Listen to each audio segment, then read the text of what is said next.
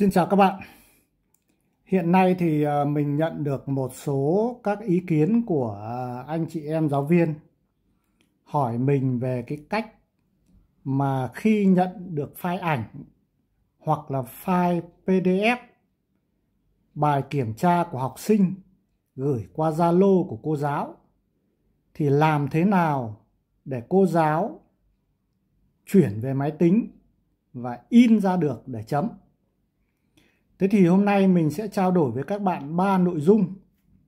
Nội dung thứ nhất là mình nhận file ảnh, file PDF ở Zalo thì mình phải xử lý như thế nào để chuyển về máy tính. Nội dung thứ hai là cách mà mình chuyển về máy tính thế nào. Và nội dung thứ ba là mình in như thế nào. Đấy. Mình sẽ vào Zalo ở đây thì mình giả sử như là Zalo của mẹ học sinh Huy. Mình mở vào. Thì mình thấy trên Zalo này là sẽ có hai cái hai cái bài. Một bài trên là gửi bằng file ảnh. Thế còn bài bên dưới là gửi bằng file PDF. Đó. Thế thì nếu ở file PDF thì các bạn rất đơn giản, các bạn mở cái file đó lên. Đó. Nhưng mà điện thoại của các bạn nhớ là phải tải cái app đọc cái file PDF này. Đó. Thì hình ở trên uh, điện thoại các bạn để ý. Sau đó bạn nhấn vào cái app đó để các bạn mở nó lên đó. Sau khi mở lên rồi, thì các bạn lưu ý là các bạn sẽ nhấn vào cái biểu tượng chia sẻ. Nhấn vào biểu tượng chia sẻ. Trong biểu tượng chia sẻ này, thì các bạn sẽ nhấn vào share và copy. Đó. Thế thì sau khi nhấn vào đó nó hiện lên các cái công cụ để mình lưu. Ở đây tôi muốn chuyển về máy tính. Thì cách là tôi chuyển vào My hoặc tôi chuyển vào Driver. Tuy nhiên, một số thầy cô giáo chưa quen dùng Driver mà chủ yếu là dùng qua My cho nên tôi sẽ chuyển vào My nhấn vào mai. Thế thì điện thoại của các thầy cô giáo cũng phải nhập mai sẵn rồi. Và bây giờ, tôi chuyển vào mai thì tôi chuyển vào chính mai của tôi. Thì tôi lại đánh lại cái mai của tôi. Sau khi các bạn gửi thì các bạn bấm vào gửi. Như vậy là mai của các bạn đã nhận được cái bài này. Và các bạn chỉ việc tải từ mai về một cái folder máy tính. Bạn tạo một cái folder trên máy tính. Ví dụ folder toán của lớp 5A hay folder tiếng Việt của lớp 5A các bạn tải về đó, xong các bạn in lần lượt từng bài của học sinh ra. Đấy là trường hợp nếu phụ huynh học sinh gửi bằng file PDF trường hợp thứ hai, nếu phụ huynh mà gửi bằng file ảnh thì các bạn sẽ mở cái ảnh đó lên. Tuy nhiên thì các bạn lưu ý là từ file ảnh này các bạn không thể chuyển tiếp qua Gmail được. Mà các bạn phải tải về điện thoại, các bạn bấm vào nút tải. Sau khi bấm về nút tải này rồi thì các bạn sẽ thấy nó hiện lên ở trong cái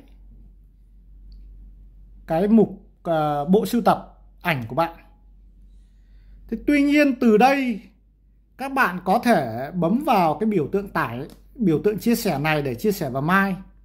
Nhưng mình khuyên các bạn là không nên chuyển ảnh này vào mai, bởi vì các bạn in ảnh là nó bị đen và cái file ảnh nó rất là nặng, máy tính đọc rất là chậm. Thế thì các bạn làm thế nào? Các bạn lại dùng cái phần mềm scan mình đã hướng dẫn đợt trước các bạn chuyển cái ảnh này thành file PDF và các bạn chuyển về mai của các bạn. Bây giờ mình sẽ thao tác lại cái việc ấy từng bước một để các bạn làm. Thì muốn scan thì các bạn sẽ chuyển về các bạn tìm cái app scan mình đây thì mình để ngay ở màn hình. Các bạn mở lên. Đó. Sau khi mở lên rồi thì các bạn vào cái biểu tượng chụp ảnh. Đó. Thì như hôm trước là mình hướng dẫn các bạn là hướng dẫn các bạn rồi. Nếu mình chụp trực tiếp thì mình để như thế này. Nhưng nếu mà mình áp ảnh lên thì mình vào chữ import. Có cái biểu tượng ảnh đây, các bạn vào import. Sau đó các bạn tìm cái file ảnh các bạn vừa tải. Các bạn ấn import. Đó. Khi lên thì các bạn thấy là mình để ở cái chế độ gọi là căn lề tự động. Còn nếu bạn nào mà chưa để cái chế độ căn lề tự động này, thì các bạn sẽ đặt nó hoặc là các bạn sẽ căn căn bằng tay. Xong rồi thì các bạn ấn next. Đó. Thì như vậy, các bạn nhìn đây. Ảnh này là đã được scan lại rất là rõ và nếu như thế này mà in ra, thì hoàn toàn là rõ ràng. Tuy nhiên thì mình cũng muốn là đổi tên để mình còn kiểm soát cái bạn này. Cho nên mình sẽ nhấn vào chỗ đổi tên. Tên bạn này là bạn Thanh Hà. Thì mình sẽ đổi thành số 11 11 chấm Thanh Hà đó. Đó. Thế thì các bạn sẽ ok. Đó ok.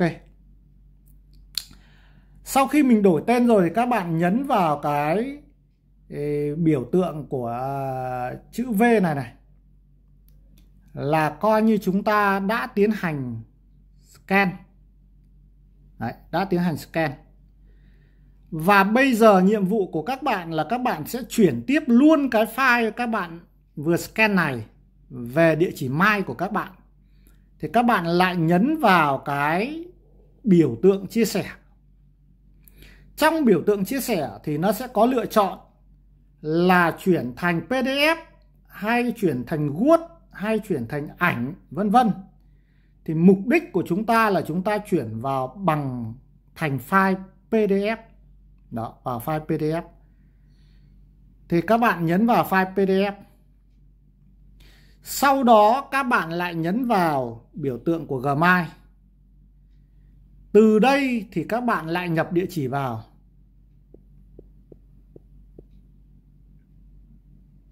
Đây, mình đã nhập một lần rồi cho nên nó sẽ hiện lên luôn. Đó. Và các bạn nhấn gửi.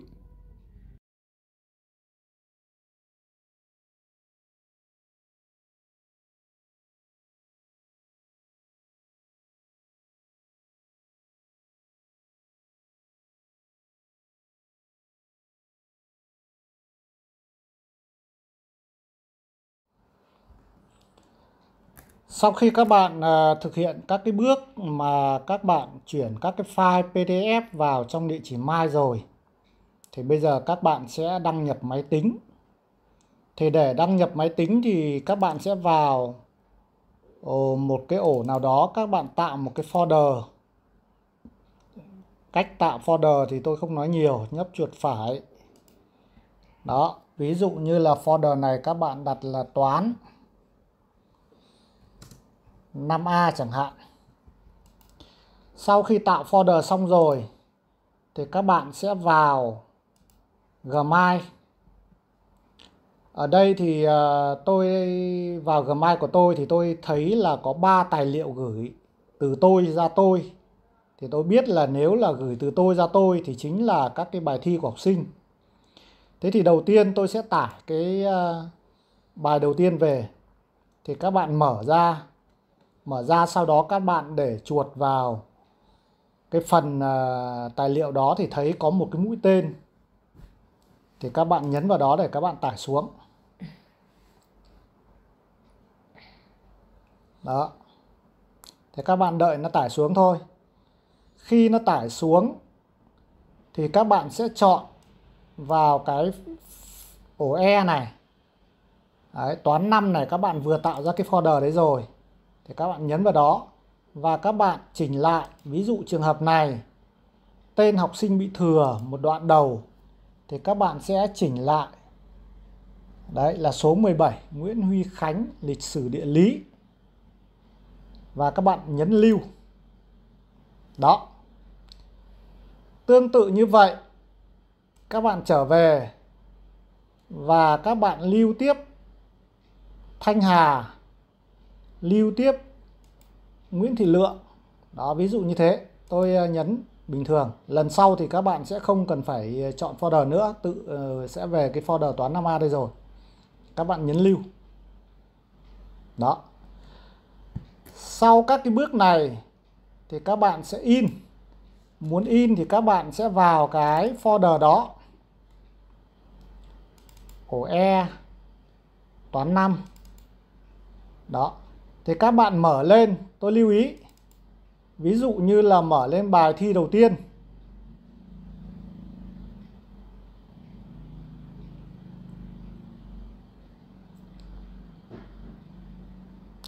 Thì đây, bài thi đầu tiên chỉ có một mặt. Cho nên là các bạn lệnh in bình thường bằng cách là nhấn vào biểu tượng. Hay là các bạn sẽ à, công chôn P đấy là tùy. Đó. Thì các bạn lưu ý có một trang thì các bạn cứ nhấn ờ, in thôi là sẽ ra. Đấy.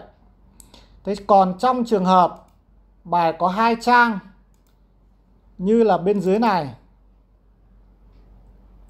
thì ở đây mình lưu ý với các bạn là trang ở đây thì đã được định dạng là hai hai mặt giấy ừ, nằm ngang. Đấy, các bạn nhìn đấy, hai mặt giấy nằm ngang.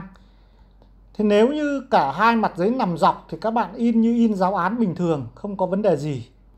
Còn hai mặt giấy nằm ngang như thế này thì mình chỉ yêu cầu các bạn lưu ý là các bạn vào máy in. Sau đó, các bạn sẽ chọn in hai mặt. Đó, in hai mặt thế ở đây thì máy tính của mình là là mà máy in của mình có một mặt cho nên sẽ không có biểu tượng in hai mặt. Nhưng mà nếu máy của các bạn có hai mặt thì các bạn sẽ chọn hai mặt. Đó. Còn các bạn sẽ sang pin sinh thì các bạn sẽ chọn căn lề. Và qua đây thì mình cũng chỉ biết tới đâu, mình hướng dẫn tới đó. Bạn nào mà biết rồi thì bỏ qua cái video này còn bạn nào mà chưa biết hoặc là chưa hiểu vấn đề gì hoặc là chưa rõ thì các bạn comment ở dưới video, mình lại tiếp tục à, trao đổi với các bạn. Thế thì video đến đây là hết. Xin chào và gặp lại các bạn ở video tiếp theo. Xin chào.